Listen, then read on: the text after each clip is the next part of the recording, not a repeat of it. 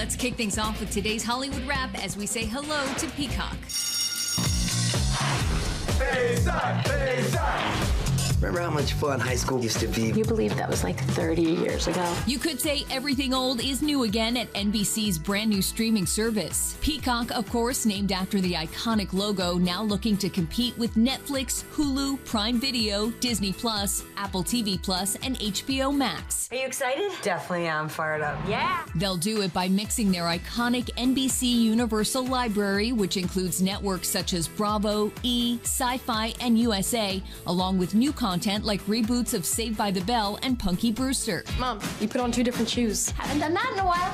Still works. There will be two versions of Peacock, a free one and a paid one. The latter will give you access to the new original shows, including a new comedy with a familiar friend.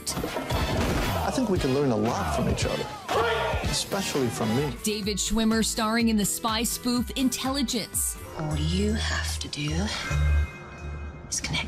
There's also the new sci fi drama Brave New World with solo star Alden Ehrenreich and the new British thriller The Capture. I went from making millions to zero. Peacock also diving into the world of sports with new reality shows starring Olympic swimmer Ryan Lochte and racing legend Dale Earnhardt Jr. There's also kid shows, late night shows, and even new movies like this psych reunion film. Gus, we're home. You can give me some Chewy. For customers of NBC's parent company Comcast, Premium Peacock is free. But for the rest of us, we'll have to decide if we want to pay for yet another streaming service. Peacock lands July 15th, and that's today's Hollywood Wrap.